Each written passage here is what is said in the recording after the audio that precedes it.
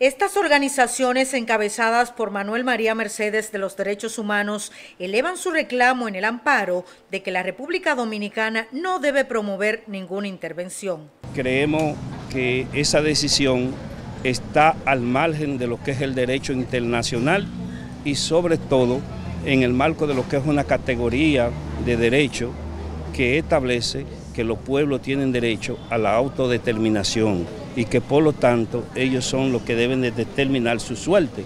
Y con lo que ha acabado de aprobar las Naciones Unidas, violenta ese principio de derecho. Creen que el pueblo haitiano y sus organizaciones políticas deben por sí solo enfrentar la situación de inseguridad y vandalismo.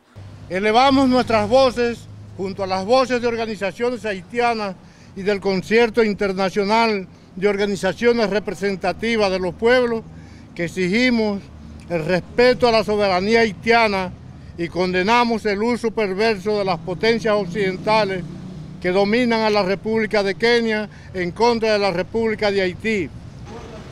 A pesar de no estar dadas las condiciones en el gobierno haitiano y la diplomacia, estas organizaciones pro-haitianas promueven que el gobierno dominicano debe abocarse al diálogo con el vecino país para buscar una salida a la crisis.